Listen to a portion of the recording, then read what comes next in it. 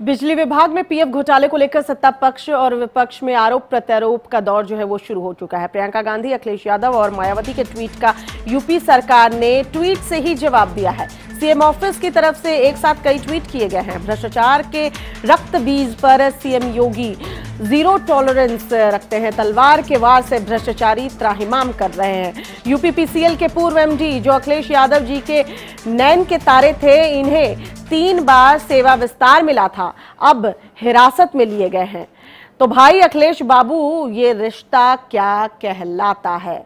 तो ये तमाम जो ट्वीट हैं, वो सीएम योगी आदित्यनाथ के ऑफ़िस से किए गए हैं। ये देखिए किस तरह से भ्रष्टाचारी गिद्धों ने जब अपनी आँख जमाई, अत्याचारों के खिलाफ संतों ने अलख जगाई। अब की बात भ्रष्टाचार की जड़ पर प्रहार।